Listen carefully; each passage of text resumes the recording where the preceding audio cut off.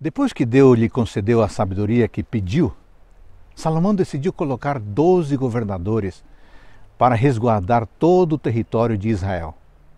Esses doze governadores não estavam relacionados às doze tribos de Israel, mas tinham a responsabilidade de prover para o rei e sua casa durante um mês do ano, provendo o necessário para a sua subsistência durante todo esse tempo.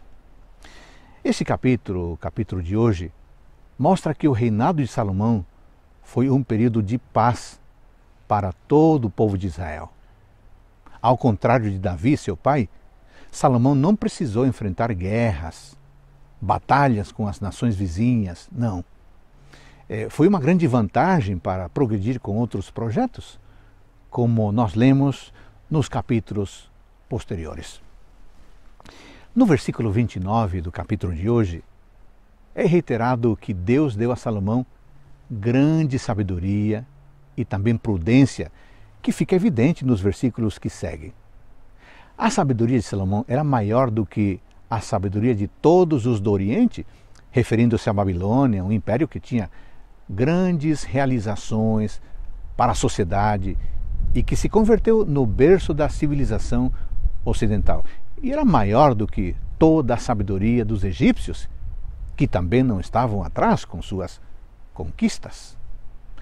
Além disso, é mencionado que ele era mais sábio que Etan e Emã, autores de alguns salmos e que compôs, eh, ele compôs 3 mil provérbios e 5 mil cânticos.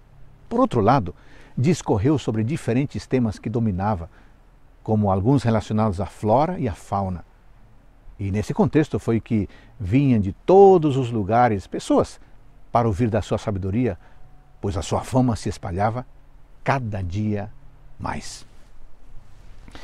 É interessante notar que eh, o reinado de Salomão seguiu em, em constante crescimento em todos os aspectos. Em uma época de prosperidade para o povo de Israel, é interessante questionar qual foi o fator determinante para que isso acontecesse. Será que Salomão era especial? Ou será que Deus abençoou tanto o seu povo com a tão desejada paz? Poderíamos cair no erro de pensar que Salomão era a fonte de sua própria sabedoria e sucesso. No entanto, graças às Sagradas Escrituras, sabemos que não foi assim. Tanto a paz quanto a sabedoria e prudência para governar são dádivas de Deus.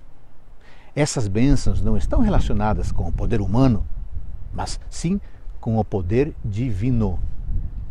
Deus e Sua palavra são a única fonte de sabedoria verdadeira.